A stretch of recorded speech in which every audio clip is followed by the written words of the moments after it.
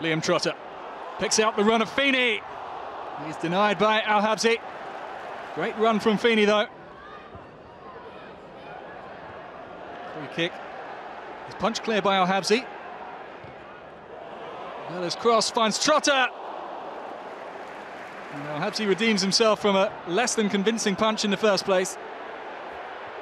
Zach Clough with a driving run. Deflected off Ramis.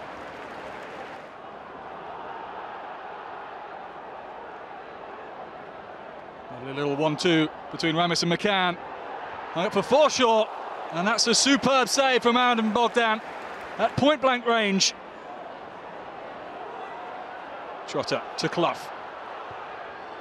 Oh, and that's a confident strike from the teenager to test Al Habsi.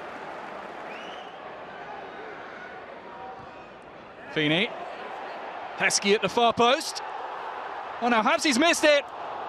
But Ramis didn't. Great block to deny Lonergan. Have a little back heel. Cross finds McCann. And somehow the header goes wide.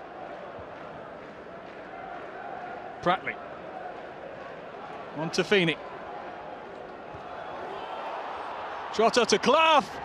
Oh, and a brilliant finish from the teenager. A dream debut for Zach Clough. Maloney's free kick. Another brilliant save by Bogdan.